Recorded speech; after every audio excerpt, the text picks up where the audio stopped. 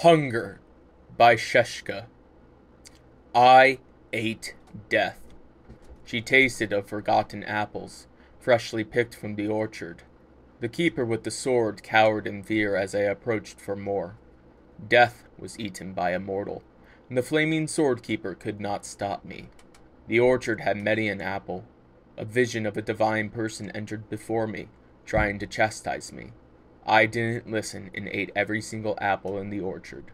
The divine person looked sad and began to cry. I ate God. She tasted of an infinitely profound sadness. I began to cry. From those tears it nourished the seeds of the apples I left on the ground. The sword keeper looked at me with curiosity. It said to me, And will you stay here for the first sprout? I nodded. A vision of another divine person entered my sight.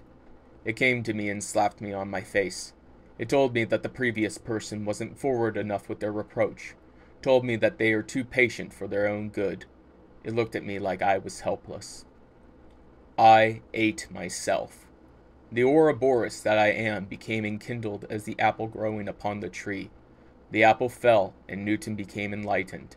The apple was eaten, and the Buddha saw me frightened. The apple was smashed, and all the world was brightened.